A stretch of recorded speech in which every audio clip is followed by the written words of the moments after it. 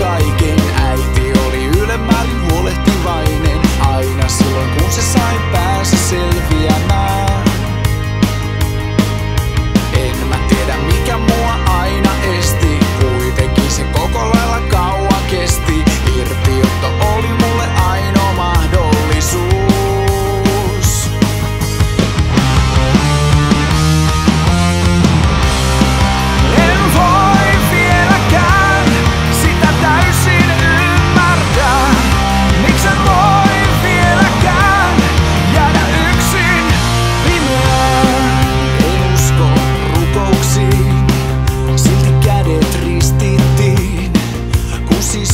haudata